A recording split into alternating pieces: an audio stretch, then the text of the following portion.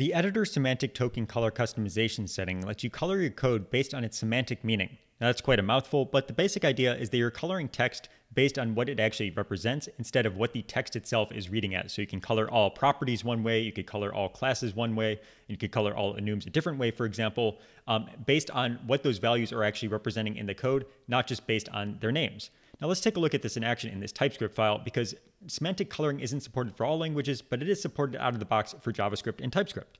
So I'm going to open up my settings with Control comma or Command comma on Mac. I'm going to put my settings to the side here, and I'm going to search for semantic color.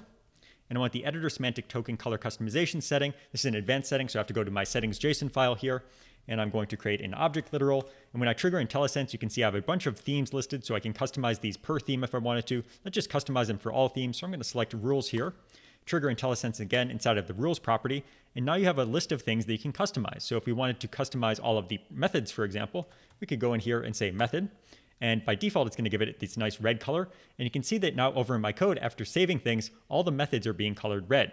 And again, it's not just looking at the text and saying, hey, this looks like it could be a method. It is actually looking at the, uh, and using language smarts to say, hey, this definitely resolves to a method, and I'm going to color it red based on that information. So it's a lot richer than the normal text colorization. Now I can do all sorts of fun things here. So we could color all enum values here. We could give those a nice like yellow color, for example. Let's go do that. So now all of the enum values are being colored yellow.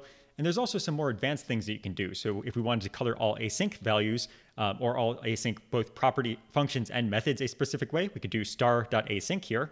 And let's make all async things a nice bright green color. And now we can easily see just by glancing at the code, hey, this is an async function. I should definitely await it or make sure I deal with the promise result. This has just been a quick introduction to semantic colors, but you can see that they really let you understand your code just by glancing at things, and you can really customize things based on whatever you find most useful. Be sure to check out the documentation for more details.